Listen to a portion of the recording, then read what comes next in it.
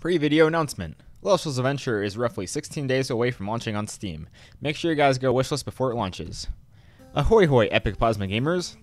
Welcome to my devlog series on Little Shell's Adventure, a beach-themed adventure game about a turtle on a quest to stabby stab to dumb crab dudes, because all my epic plasma gamers hate crab dudes.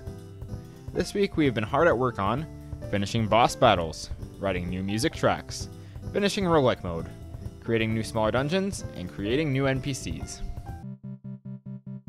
I have been procrastinating work on this boss for a long time. I've made all of his attacks, but I never made an official start or end to the battle. This week I've been trying to tie loose ends. You can now beat him, which will cause all the enemies to die, and trigger an ending dialogue. I'm not going to show his dialogue for spoiler reasons, but I think he's a pretty cool boss. He gives you a heart when he dies, and then the player can go upwards towards a new and improved subway. This is the fast travel system I've been working on. Once you finish the sewers, you can either go to Farlington, or you can go through the subway to travel to the North Shore or Tiki Town. Because of the sewers and exit to Farlington, the world is starting to feel very connected. Wanna know what else is connected? The Epic Plasma Gamer community. How do you become an Epic Plasma Gamer? Oh, all you have to do is hit that subscribe button and you can become an Epic Plasma Gamer yourself. 9 out of 10 professional wrestlers would recommend becoming an Epic Plasma Gamer. This may or may not be a threat. The second village in Little Shell's Adventure is now near completion. This is a small boardwalk town that is on the farthest north part of the island. This is where Lil Shell and Biggie are originally from, and when you get here, you'll be able to meet Lil Shell's family and progress the story. I'll definitely show more of that in the next vlog, but now I'd like to quickly change gears and show you guys some of the music tracks I've been working on. Without any more delay, here is Treasure Dungeon Theme.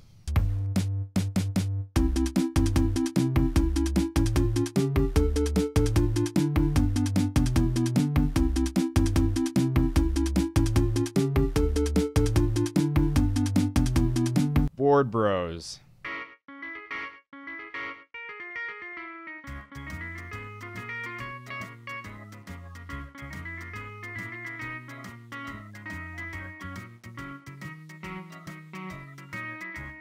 And finally, the North Shore theme.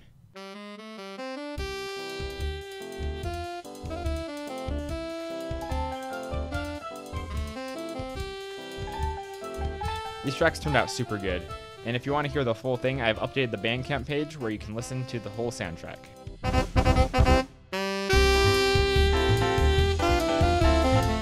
Hello everyone! This week I got done some pretty cool stuff. Starting off, I finished off the roguelike, making it fully functional in both the beach and dungeon mode. Along with that, I started off with one of the few treasure dungeons. Now, these dungeons are going to be better explained in the game, which you should wishlist on Steam, but basically, this guy wants treasure and wants you to get it. You pick from three different paths and get to the end and grab this thing, and this thing is what allows you to play the arcade machines. I've started work on some of the other machines, but I don't really have anything to show yet other than this. But that's pretty much it, so back over to Shellman. Since Shell's Adventure is so close to launching, Dagan and I have been spending a lot of our time building out the world.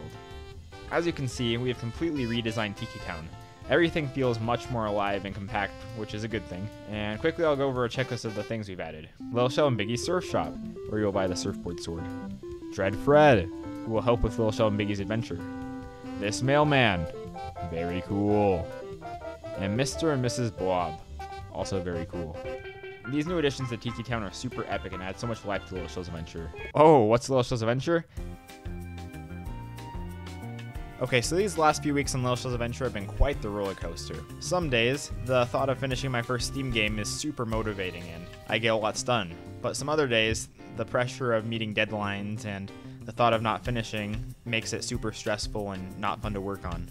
I've learned that sometimes us devs get too caught up in working on our game that we forget to live life. So I've been trying to strike the right balance this week with working on my game and spending time with friends and family. Thank you guys so much for watching. If you like this video, make sure to like and subscribe. And as always, commit stabby stab to dumb crab dudes.